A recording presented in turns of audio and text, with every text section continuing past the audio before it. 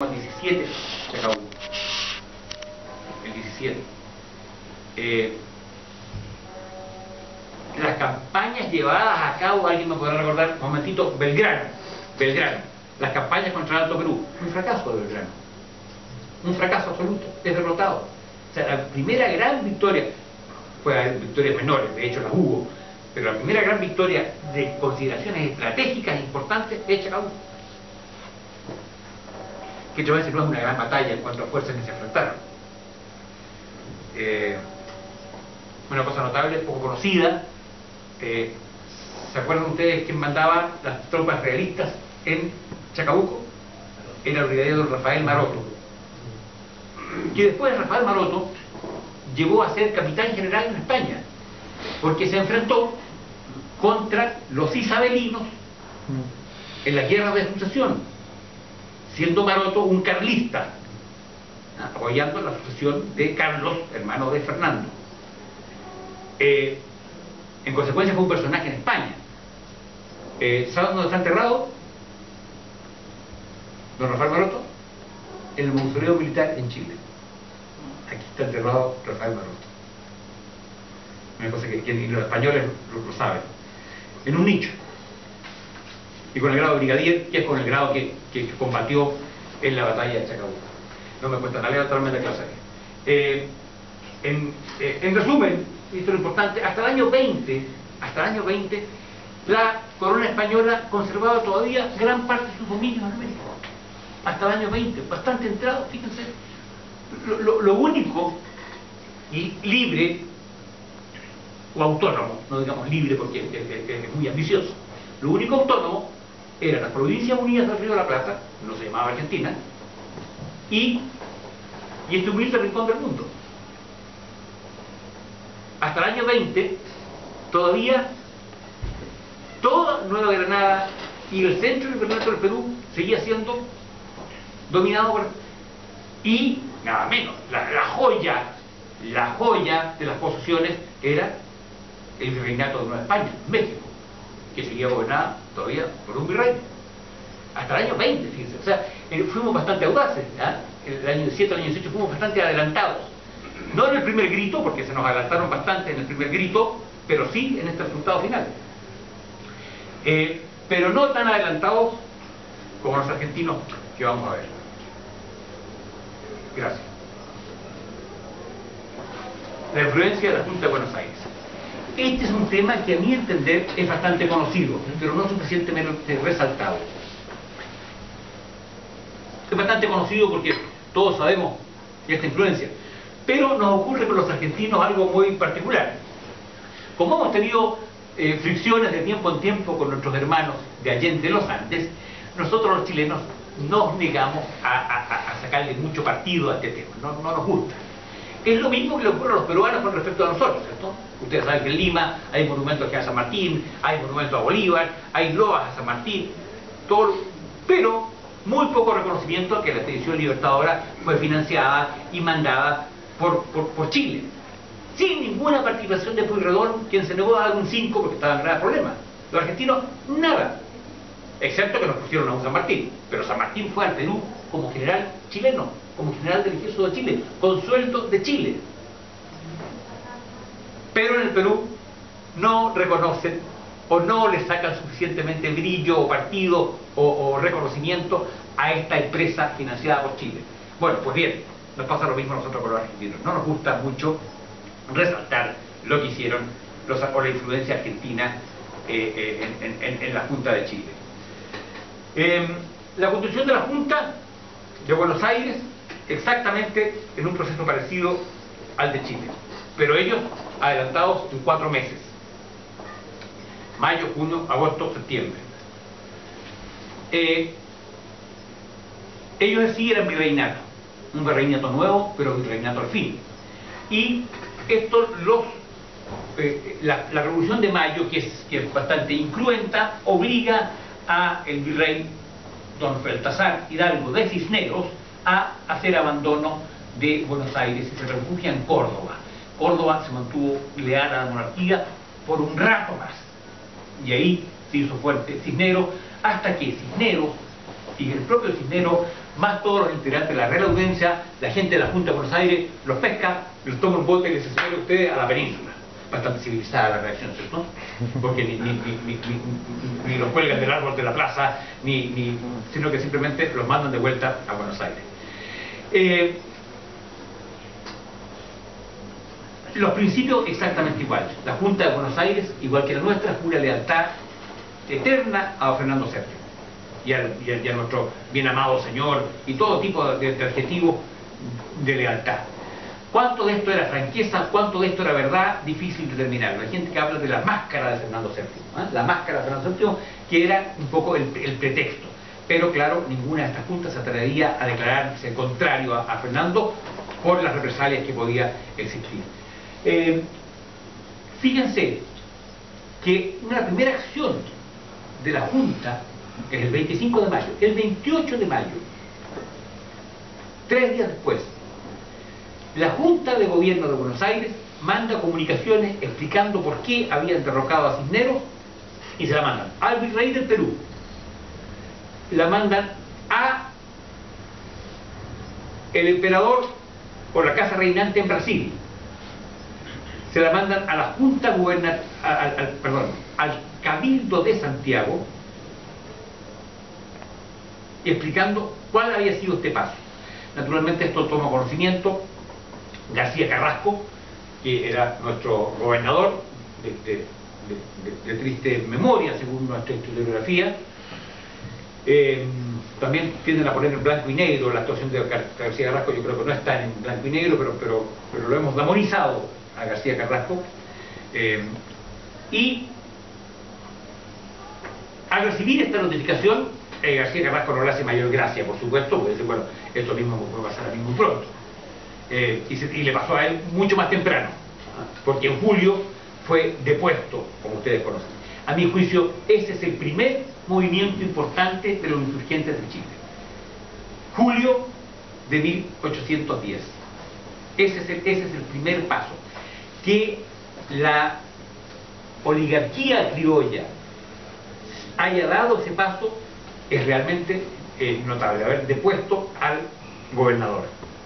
Y instaurado a este, este, señor que tenía simpatía y que dice que estaba un poquito cagá, ya don Mateo de Torres Zambrano, que era quien le correspondía más por antigüedad, pero que era un señor bastante manejable y que rara vez asistía a la Junta porque ya estaba muy, muy enfermo. Morirá tres o cuatro meses después. Eh, en consecuencia, eh, lo primero que tenemos es una notificación de Buenos Aires de decir, señores, hemos adoptado este paso porque nuestro monarca está preso, y nos explican. Pero junto con eso, junto con esta notificación oficial, la Junta nos manda un mensajero secreto, un señor que, es notable para su tiempo, que es don Gregorio Gómez, don Goyo Gómez, que en agosto, en agosto, cruza los Andes, imagínense lo de cruzar en agosto solo los Andes en plena época de invierno, llega a Santiago y antes de Santiago, por ahí un guardia vieja, es detenido, dice que usted a qué viene. Y él eh, eh, eh, es encarcelado, pero había guardado la notificación de la carta que traía firmada por Castelli y por Belgrano, los primeros integrantes de la Junta Argentina, la traía fondeada en, en, el forro a su sombrero. Y en el fondo, aquí viene don Goyo Gómez a exhortar a la Junta de Santiago, a, perdón, a exhortar a eh, don Mateo Toro Zambrano, que, era, nuestro último gobernador, y a los eh, la, oligarquía de Santiago a que diera el paso, que imitara el paso de Buenos Aires. Eh, me voy a permitir mostrarles una, bueno, otra cosa interesante va a ser la designación de un primer diputado, le llamaban, pero un primer embajador de Buenos Aires que nos llega a Chile, que es Álvarez de Jonte. Jonte tiene una importancia enorme porque él es el que gestiona y el que convence especialmente Martínez de Rosas, que era bastante argentinófilo, para que Chile le mandara este grupo que son los auxiliares de, Penco. ¿ah? eh, encabezado por don Andrés de Alcázar. Me imagino que, ese episodio aquí hablando de asociación es bastante conocido, así que no me voy a referir, pero es la, primera ayuda militar o esta primera asociación militar entre ambos países, ojo, parte de Chile a la provincia Unida del Plata. Después nos devuelven la mano con creces, naturalmente, con creces. Pero la, primera iniciativa es esa. Eh, después de Álvarez de Fonte, a, quien, se entremezcla mucho en asuntos internos, lo que ocasiona que finalmente sea, eh, eh, sea retirado de Chile. nos llegan dos embajadores, llamémoslo así, de la mayor importancia. Eh, nos llega Vera y Pintado, que había estudiado en Chile y tenía bastante conexión en Chile, y nos llega Juan José Paso, que es de la mayor importancia porque Juan José Paso fue secretario de la primera Junta Gobernativa de Buenos Aires. O sea, tuvimos, tuvimos de alguna manera algún grado de, de embajada o de control, si ustedes quieren, o de exploración de qué estaba pasando en Chile. Buenos Aires le importaba muchísimo qué pasaba en Chile. O asesoría, suena más elegante. Eh, veamos, voy a permitir leer con ustedes una, carta, por favor. Ah, ahí hay, un retrato, vamos a la carta. Este retrato, este, es la primera Junta de Gobierno Argentina, ahí se pueden reconocer a Belgrano, a Castelli, a Mateu eh, y algunos de los próceres argentinos. Siguiente. Buenos Aires, 30 de agosto del año 10. Fíjense, 30 de agosto del año 10. Eh, leamos juntos. Excelentísimo señor, aunque la ilustración y energía de ese pueblo, de ese pueblo, presenta un antemural a las intrigas de los enemigos de la felicidad de América, ha creído, la Junta, ha creído conveniente participar a vuestra señoría el verdadero estado de las cosas para que pueda tomar las precauciones convenientes a evitar los gravísimos males de que el reino se haya amenazado. 30 de agosto del año 10. O sea, exactamente 18 días antes de nuestro primer punto. ¿Qué dicen? ¿Qué, nos recomiendan? Al paso que el egoico valor de nuestros compatriotas de Europa, es decir, los españoles que se resisten a Napoleón, el heroico valor de nuestros compatriotas de Europa, compatriotas de Europa, anótese, cede al gran número de enemigos que los atacan, ceden, acorralados, ya estaban acorralados en Cádiz, los mandones de América redoblan sus esfuerzos en perpetuarse. Los mandones de América, los cisneros, los pezuelas, los virreyes, que no tenían por qué gobernar, porque gobernaba un rey que ya no existía. La soberanía debía volver al pueblo. Los mandones de América. Fíjense los términos. ¿eh? Redoblan sus esfuerzos en perpetuarse legítimamente en empleos que han caducado. En empleos se les acabó la pega, señores, no han entendido. Y siguen manteniéndose. En empleos que han caducado. Y sofocando los derechos imprescindibles de los pueblos, tratan de hacerlos servir a la perpetuidad de su tiranía. Fíjense el tenor de la carta agosto de 1810. Perdonen que sea gruesa. Me, me salto algunos párrafos y llego a estos párrafos finales. En ese precioso reino, Chile, crecen ahora los peligros, nos advierten de Buenos Aires. Pues empeñado el virrey de Lima en castigar y sofocar la enérgica revolución de haber arrojado al indecente déspota, ¿quién era? García Carrasco o sea, al haberse atrevido ustedes a derrocar a García Carrasco, el indecente déspota, que lo dominaba, unirá sus recursos, el virrey de, Lima, unirá sus recursos a las intrigas de los oidores y por un golpe de sorpresa dará en tierra con los honrados chilenos autores de aquella magnánima resolución. Sírvase vuestra señoría de los peligros de la tardanza y convencerse de la dificultad de reparar la pérdida. Hagan junta luego, apúrense en una junta. Eh, ¿por, qué, por, qué, ¿Por qué nos apuraban los argentinos en la Junta? ¿Porque los querían mucho? ¿Era tanta solidaridad? Ellos la Porque ellos veían la principal amenaza que podía venir contra la Junta, podía venir desde Chile. Porque los argentinos o las provincias del Plata, o el virreinato, perdón, el virreinato de la Plata, no tenían un ejército regular tenía solo milicias, como la tenía toda América. En la única parte de América donde había un ejército regular, de aquí para lejos ustedes, era aquí en Concepción, aquí en la frontera. Los, los de Santiago eran unos militares de opereta, de opereta. Aquí eh, había un ejército profesional en la frontera y un ejército, caramba, que ya llevaba 200 años de existencia. Entonces, esto de animarnos rápido no, era simplemente por tanta amistad, sino que ellos veían que si no se producía un movimiento similar en Chile pronto, la amenaza militar venía desde Chile. Eh, siguiente, por favor. No se detenga vuestra señoría en una determinación cuya falta quizás no podrá reparar. Reciba vuestra señoría este oficio como un testimonio de nuestra fidelidad y del interés con que miramos el honor y prosperidad del reino de Chile, a que estamos unidos con la más tierna cordialidad. Notas el dominio del idioma para los argentinos siempre, ¿eh? Firmado con Nelio Saavedra. Perdón, se me había hablado, olvidado hablar, nombrado con Nelio, que fue, que fue de cabeza de la primera junta. Don Cornelio Saavedra, que es el abuelo de vuestro Cornelio Saavedra, de, de- de- la frontera. Es el abuelo, na- nada menos. Y toda la descendencia de los Saavedra está aquí en Chile y no en la Argentina. Eh, a José Castelli, Manuel Belgrano, Miguel Acu- Acuénaga, eh, Alberti, Mateu, Larrea, en fin. Eh, veamos cómo sigue estas comunicaciones con Argentina y cuál es el grado de angustia de ellos para que, para que andemos por este camino. Primero de septiembre del 10, primero de septiembre. Excelentísimo señor, apenas se supo en el Perú de formación de la Junta, de la Junta de ellos, se declaró por el intendente de Potosí y presidencia de Charcas, guerra, sangre y fuego contra esta capital. Nos dice, fíjese, fíjese, nos, está- pasando, nos están amenazando, nos están amenazando. Para asegurar la impunidad de este derecho impotente, agregaron sus provincias del Virreinato de Lima y adhiriendo aquí el jefe, bla, bla, bla. Siguiente, por favor. Unos procedimientos tan extraños, el de querer atacarnos, ¿por qué atacarnos a nosotros si nosotros, nosotros estamos defendiendo a Fernando VII? ¿Y por qué nos quieren atacar?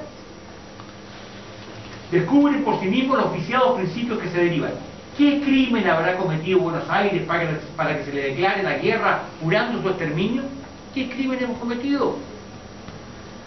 ¿No se ha instalado esta junta bajo los mismos principios que las juntas de Europa? ¿No hemos hecho lo mismo que los de Cádiz nomás? ¿No se han declarado los pueblos de América iguales derechos que a los de la península?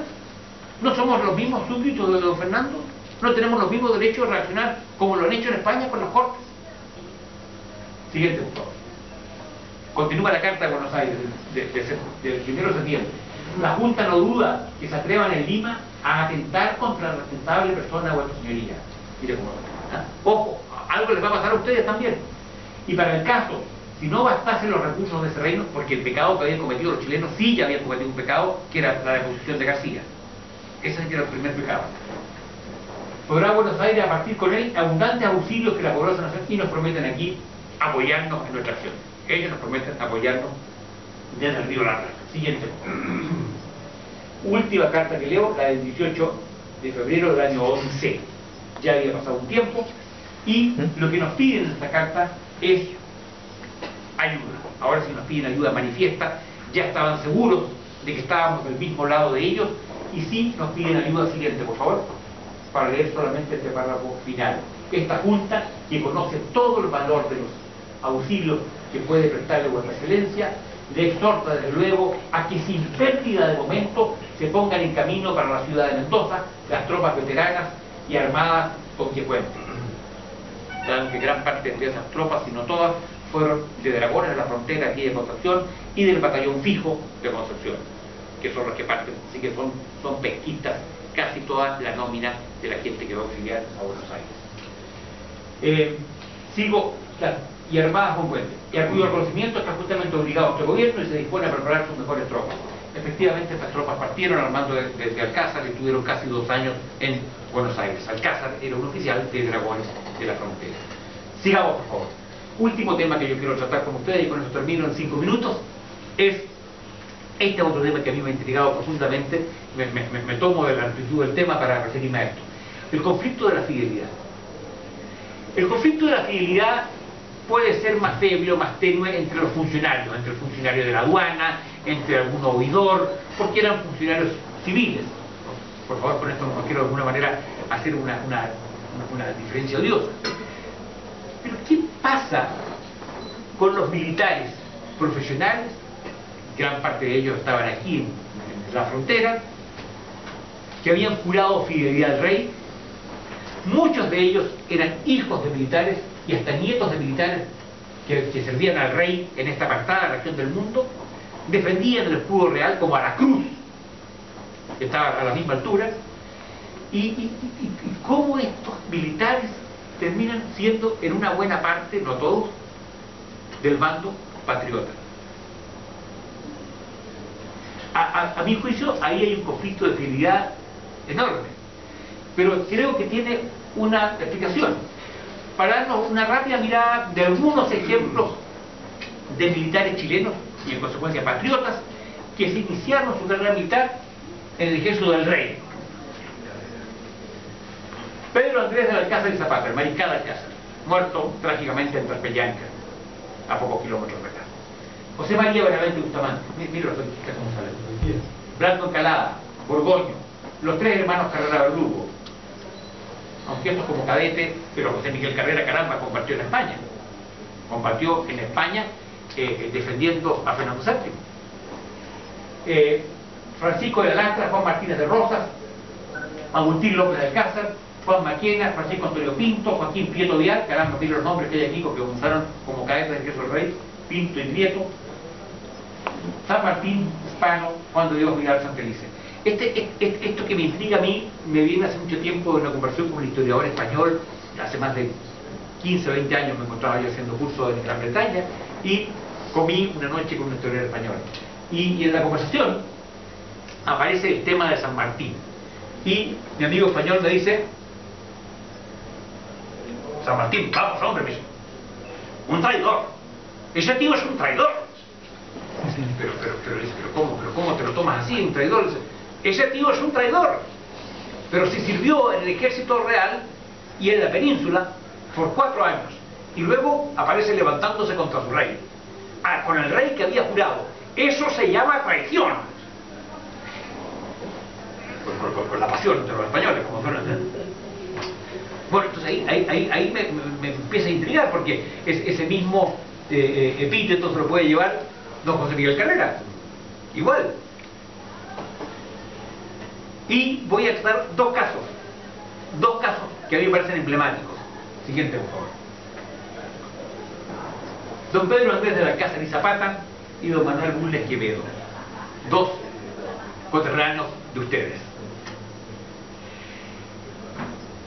El primero venía de una familia de gran abolengo, descendiente de los duques, de los condes de la Marquina, condes, no de estos condados comprados aquí en Chile, como el de Villalere, como el, de Quintalere, o como, el de Patarrajá, etc. ¿ah? Que, eran de estos, de, estos, de estos.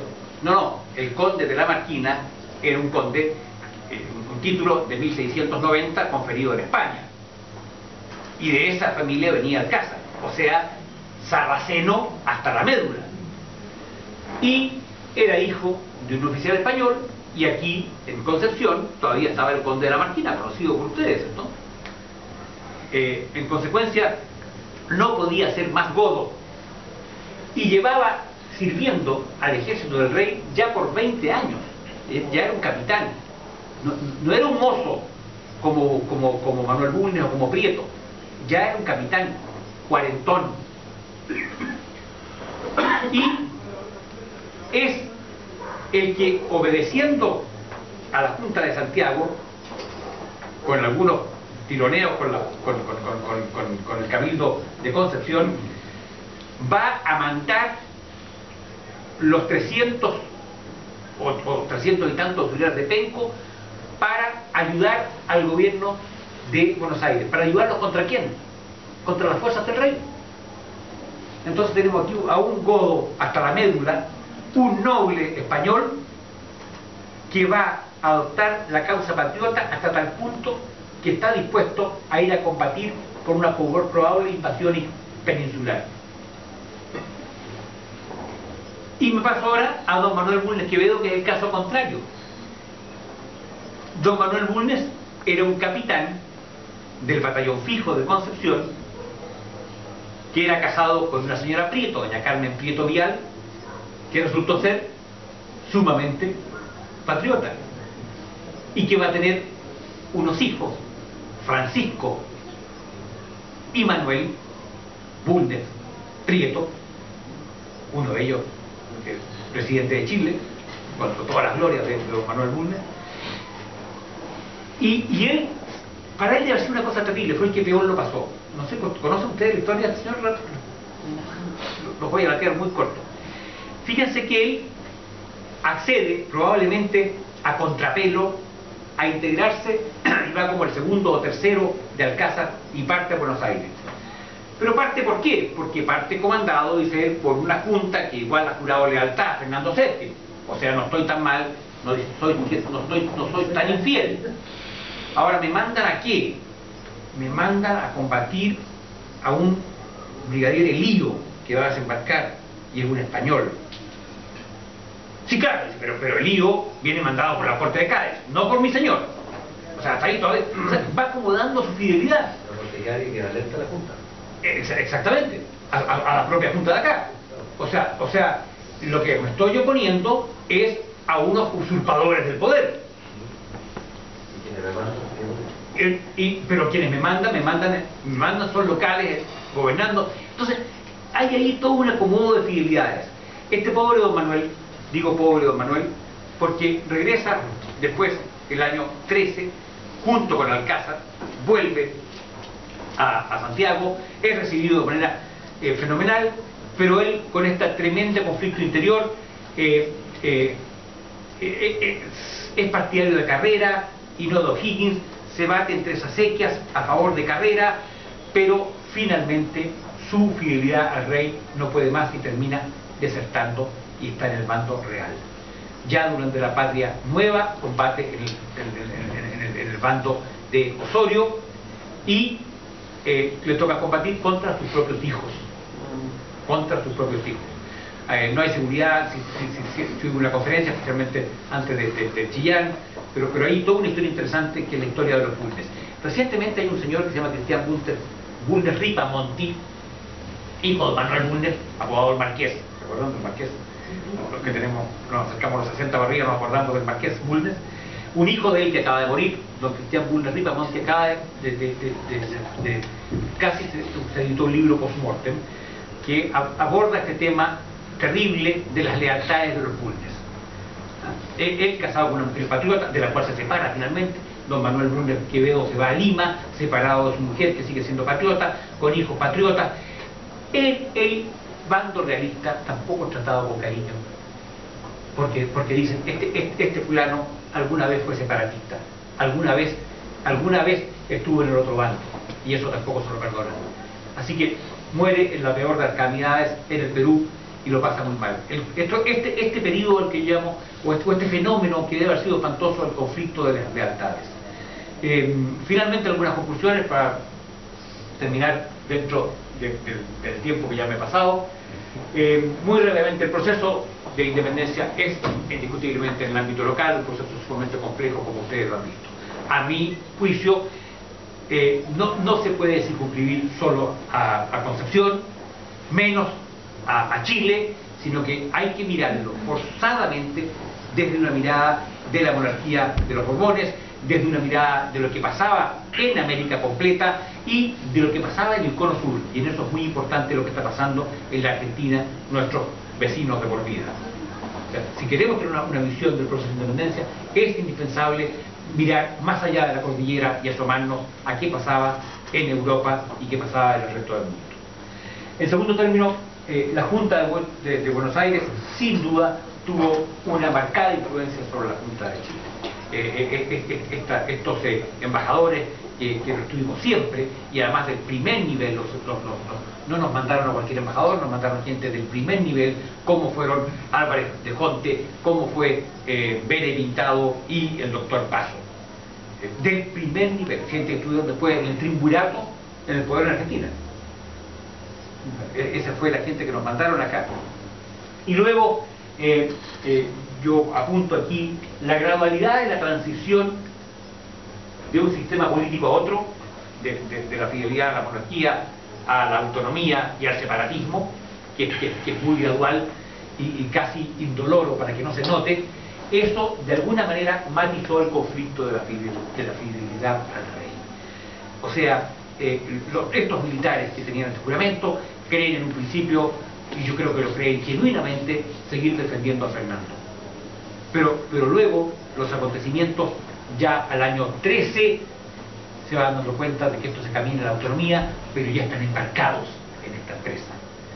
Tiene que haber sido muy duro para ellos, tiene que haber sido muy duro, por ejemplo, para Mariscal Alcázar y para toda su descendencia y toda su parentela, que es toda emparentada con Concepción. Los Ruiz de Berecedo, los, eh, los López y Godarte, eh, es la sociedad penquista, pencona y valdiviana que había entre, entre las dos sociedades, mucha fusión.